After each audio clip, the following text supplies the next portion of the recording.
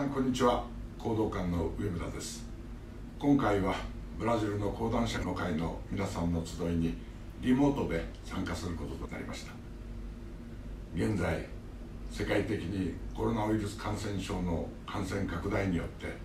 大変な困難な状況が続いておりますがスポーツ界もまた困難な状況が続いております。本来なればこの夏2020東京オリンピック・パラリンピックが開催される予定でしたが1年間の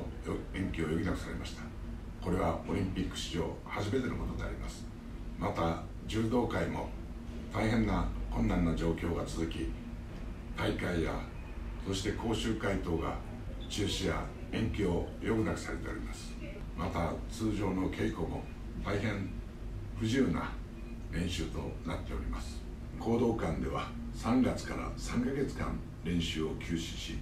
そして6月1日から単独練習とトレーニングが中心でありましたが稽古を開始いたしました。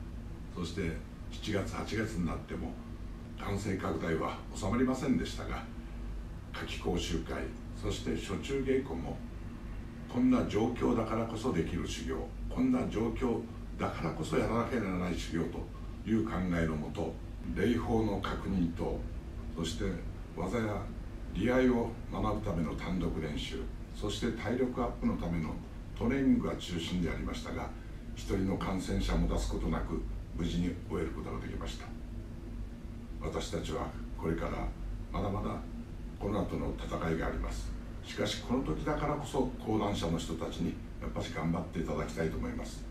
今まで培ったこの経験やそして指導された中で習得されたものそしてこの柔道精神の体得によって皆さん方のこの大きな力はこれから後輩たちに示していかなければなりません。講道館の講談社の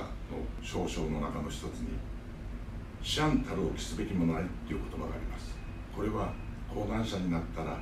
方針のお手本となるべきことを示さなければならないということであります。どうか皆さんは講談社の皆さんでありますので加納師案が示された練習法型と乱取りとそれと講義と温度型で技の利合を学び乱取りで応用を工夫し講義で知識を得てそして問答で考える力を養う。この修行法を後進に示すことによって加納師案の遺訓であります柔道は心身の力を最も有効に使用する道である。その修行は攻撃防御の練習によって身体精神を鍛錬収容し指導の真髄を体得することである。そうしてこれによって己を完成し世を保育するが柔道修行の究極の目的である。これは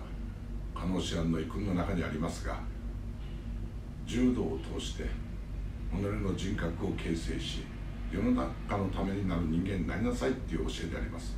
これを目指していかなければなりません。この難関を乗り切り柔道の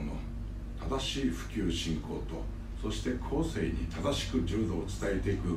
この責務を講談社の皆さんと一緒に取り組んでまいりたいと思います。そしてこのコロナが収束したらまたお会いできる日を楽しみにしております。